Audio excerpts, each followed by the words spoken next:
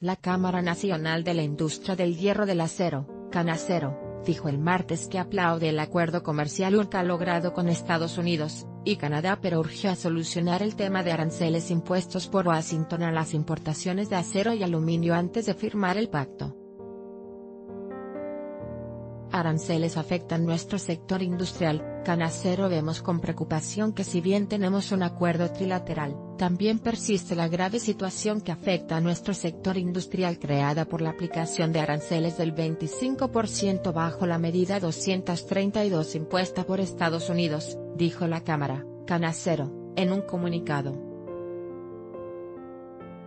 Agregó que de no llegar a una solución México debería imponer medidas espejo contra las importaciones de acero de Estados Unidos para así nivelar la cancha de juego y disminuir las distorsiones ocasionadas por esta medida artificial. EU y Canadá lograron un acuerdo de último momento Estados Unidos, y Canadá lograron un acuerdo de última hora el domingo para salvar el TICAN trilateral con México, vigente desde 1994. Se espera que el nuevo acuerdo sea firmado a fines de noviembre.